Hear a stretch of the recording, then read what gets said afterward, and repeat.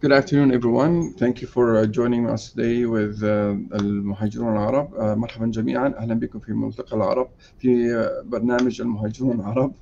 ونرحب بكم مرة أخرى. السلام عليكم ورحمة الله وبركاته. Hello, everybody. Uh, today we are honored to be uh, host uh, to host Mr. Glen Murray, who is very well known in our community and also in in Canada.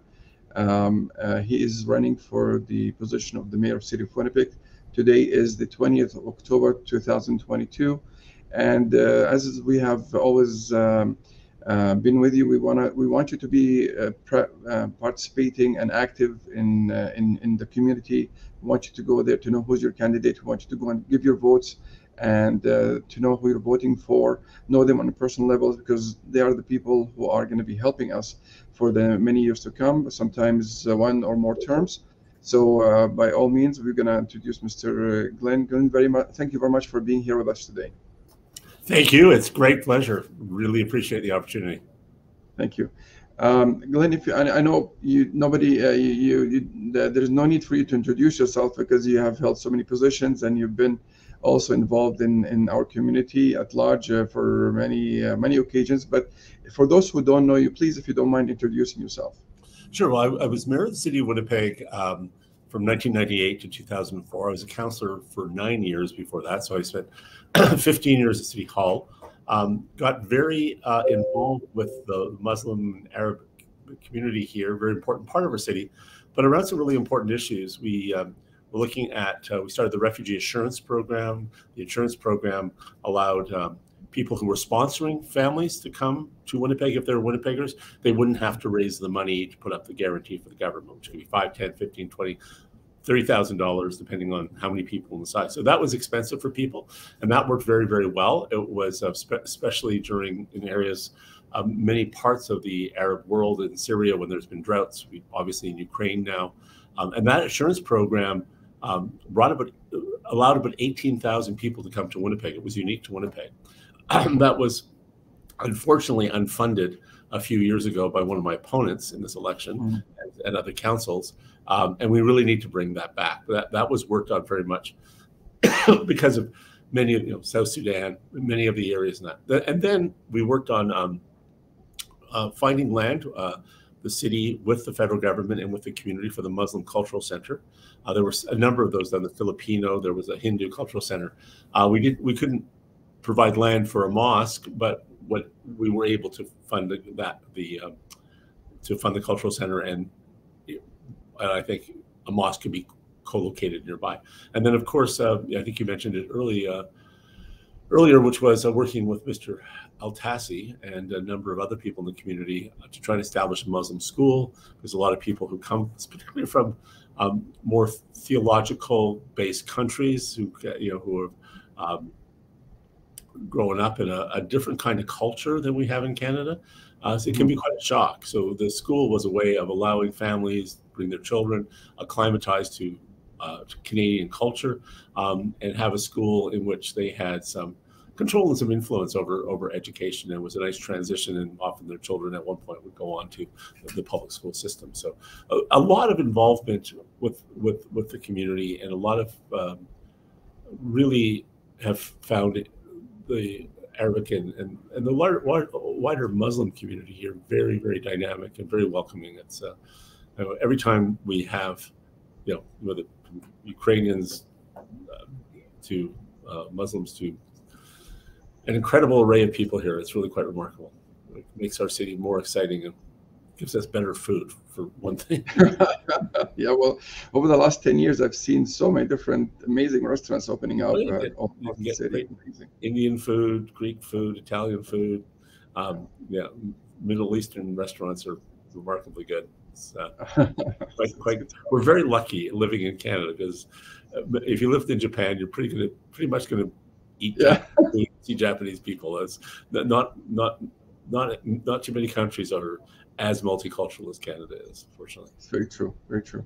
Um, we understand that uh, we have you've also um, been involved in politics from different uh, in different uh, position other than the mayor of uh, the city of Winnipeg. Yes, I was a uh, cabinet minister in Ontario um, for seven years.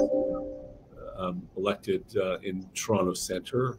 Uh, I was a Minister of Transportation and Infrastructure at the same time. I was Minister of uh, Environment and Climate Change, training, training colleges and universities, which was very interesting, and then Research and Innovation, which was the small ministry I had, but it was one of the most exciting because you were working on the front lines of some of the most, some of the greatest innovations going on in our country right now. So, hmm. yeah how do you see your experience in those uh, in those positions other than the mayor of Winnipeg? How do you see that benefiting you in the new in, the new position? Well, the renewed position you're running in for the city of Winnipeg. Well, you know, I being a cabinet minister in the largest province. I mean, many of the ministries I, some of the ministries I was minister of had budgets bigger than the province of Manitoba's budgets. Uh, so it was um, it was quite an experience learning in transportation infrastructure, uh, understanding policy, the politics, and the organization of how provinces work are very important for mayors. Um, it was a real learning experience for me because 90% of any kind of change you want to make in city politics,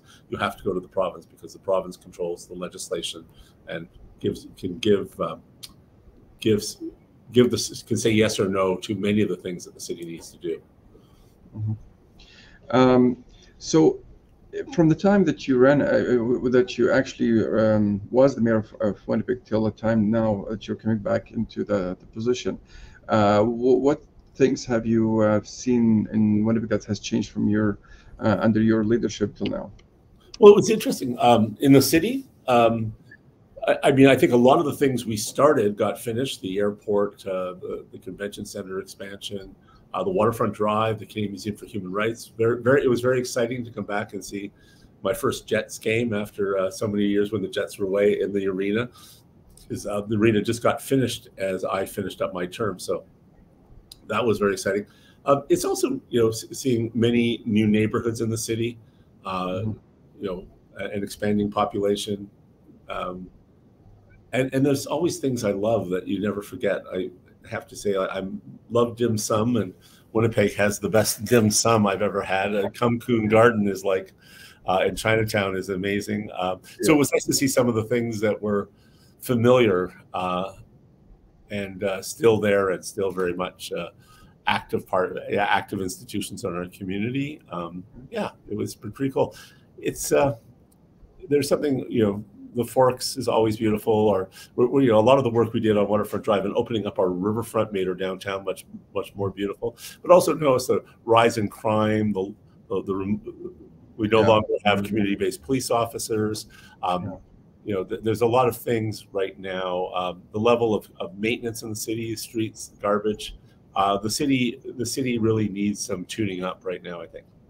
Mm-hmm. Uh, and that's that's maybe my next my next question. I mean, we uh, some of us would travel to uh, our neighbors, just our neighbors down south, uh, south uh, in, in, the states. The, we see the streets are better than our streets for some reason. We go to other provinces just close by as well. We don't have the same potholes and uh, maintenance and so on that seems to be constantly happening. I don't know.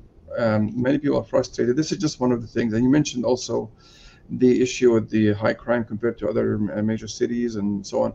What things do you have in mind if, you, if you're elected as a, as a mayor to, um, to tackle these issues? How do you propose to do so? Well, in a lot of ways, it's sort of hard to get through because they're they're quite substantive and they're very. Um, uh, there are many of these things are on my website. There is a um,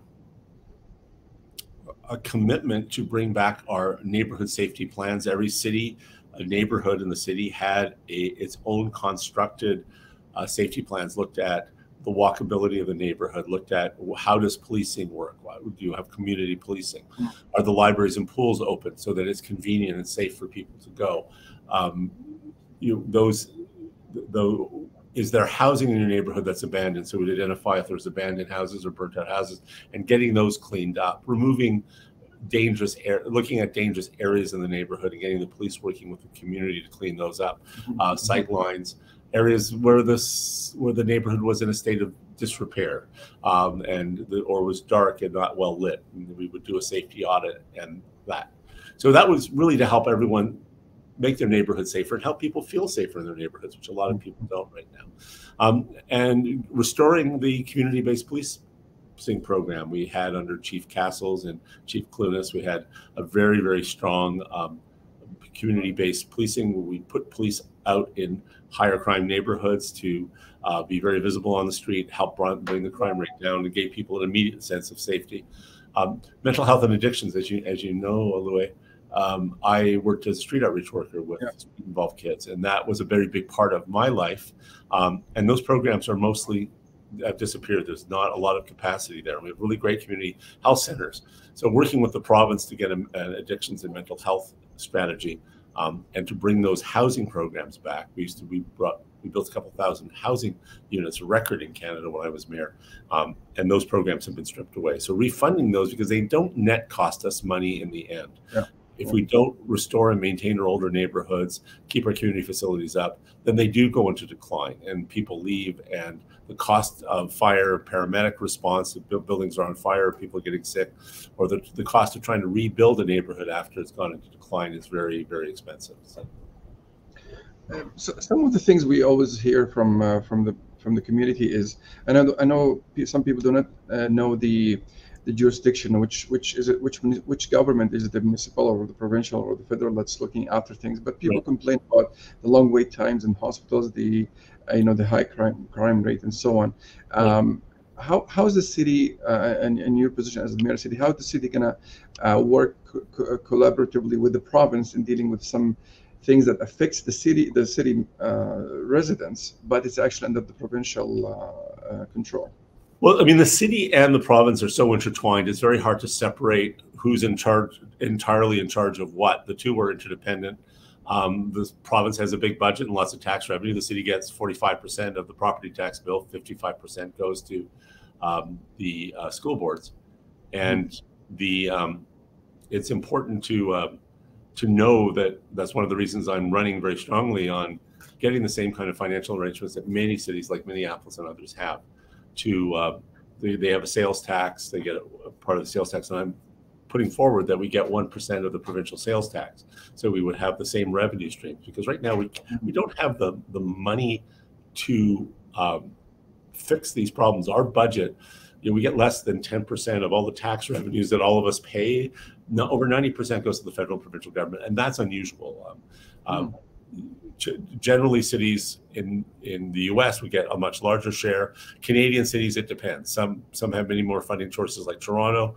Uh, others are in the same boat that we're in. But um, that that is a big big challenge, which is why everyone's platforms in this election are all about going to beg for money to you know fix Kenaston or beg for money to do housing because uh, cities just don't have the revenue streams and they have to go cap in hand to other governments to beg for money, which is complicated, means it's very hard for them to sustain it because even if you build a big roadway or you have a, a really great, you know, um, affordable housing project, those all cost money to operate after and maintain. Mm-hmm.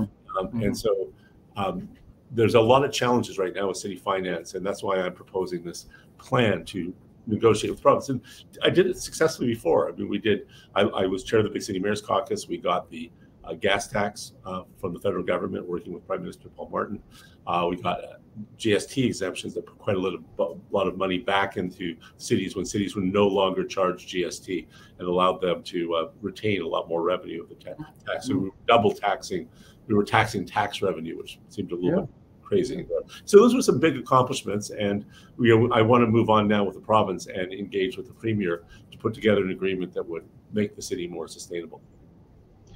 Oh, and um, one, one, another area is the downtown. So every city, uh, usually the downtown in every city is the jewel, is the is the flagship that you people bring in people from the airport and show them the, the, the downtown. With the exception of some cities in, in North America, um, our downtown has have some nice, beautiful new projects, but also has some challenges that seem to have made some uh, business uh, owners move to other areas like Kenaston or Bridgewater and so on to to avoid, and some of them you've mentioned before, like safety and, and so on. Uh, what do you propose that you might uh, do to try and attract businesses back into into downtown area? Well, we did a lot. I mean, we moved the we moved the arena downtown. We created the Shed District, which is still working very well. I mean, there's the Wawanesa building is going up, the Sutton Place Hotel, five uh, five star hotel of residence, all that work for all that infill from the convention center all the way up to the Alt Hotel and Centerpoint and the and, and the Glass House. Uh, we've really seen uh, a real revival there, but that program kind of stopped. So we that was where a program where the city went in, looked at what infrastructure was needed. In the case of True North uh, of the arena, it was an arena and it was a public square. On Waterfront Drive it was a parkway and a beautiful street uh, and public places. Uh, restoration of heritage buildings. The next precinct was Red River, River College Polytech, which is a major, um, which is a major, um, was a major reinvestment that really built the tax base in the area, got a lot of students down there. And all of that gets eyes on the street. And we should be doing something east of Portage and Main between Bannatyne and, and uh, um, Steve, uh, William Stephenson Way all along Westbrook. That whole area between the river and Main Street is pretty hollowed out. It's all parking lots. They're not in great shape. As you know, well, you have great stuff at the Forks to the south, and you have great stuff in the East Exchange up around Waterfront Drive, where Cibo's yeah. is, and the Pump House, and all the theaters, and the Nonsuch and Patent Five. For a really cool hip neighborhood. But right in between those two neighborhoods is a sea of badly uh, maintained parking lots, and in the winter it looks absolutely uh, desolate. Uh, who want to walk through a windy series. Uh, so, I mean, it's re-knitting back our downtown that's important and CentreVenture, one of the most successful downtown development corporations, you know, yeah. within when I was mayor alone, it, it brought 36 abandoned buildings back. I, I, mean, buildings that are a couple hundred thousand square feet in many cases. But it, it's lost its funding, it's lost its resources, and its mandate to put deals together in the downtown. And it put those district deals together. So I want to bring that back, completely refinance it, reinvest it uh, and and get us back to that and modernize, computerize the entire permits and approval system. So, because right now we have a very kind of analog kind of system in government, and it's very hard to get approvals through the city right now. And I want to take that on. I work in the software sector, and there's algorithms and software, things called SaaS service. Uh, software as a service. So it's basically you can your your your access to government is on your laptop, and you can um, and, and you can manage most of your stuff without having to go into an office or you know even filling out a form just an electronic interaction. So uh, we have a, a, really great book written by gavin newsom who was the mayor of san francisco called citizenville. And he wrote this book about how government could basically sort of citizen managed government. So you you hmm. work with government uh, off a menu and you you you serve yourself uh, which we can do hmm. now. That, so it's, it's stuff that's happened in business 10 years ago is now catching up to government. And I think there's some exciting opportunities for Winnipeg to really be a leader in innovative, smart, smart yeah. technology. So. I, I, I, I, don't have too much more time, so uh, no, no worries, no worries. I'll, I'll, I'll, I'll end with one last question. I, th- I know because we're short for time for you. Um, what are things that seem to be close to you to your heart, to, that you'd like to to see really big changes that that sets you apart from your the other candidates that you really have your heart set on it that actually made you come back and decide to run for mayor? Well i came i did come back to run for mayor. I came back five years ago to start some businesses and and and you know i fought, fell in love with the city and the people in the city. There's no other place where you can have as as interesting and diverse a population, such great cultural and sports and entertainment, uh, such beautiful parks, Assiniboine Park, Kildonan Park, and many others. Um, and and I always wanted to come back. It was hard. You have to make a living, and you know, you know uh, Gary Doer went off to be the ambassador in the United States.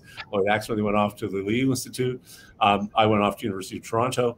Um, and and I always have been homesick. So I came and when I came back, I started working a lot in the community in the downtown, and I saw even before COVID a lot of problems. And I said, you know, I, am looking across the city, and it could be so much better. Everyone should have a key to a safe place to live, and that's been personally for me. I rode my bike to Atlanta, Georgia, with Habitat for Humanity, 59 other people to Kansas City because I think it's important to be a role model. And we raised a lot of money as a group for affordable housing here. You know, I didn't just talk about street kids and kids on the street and people with mental health and addictions.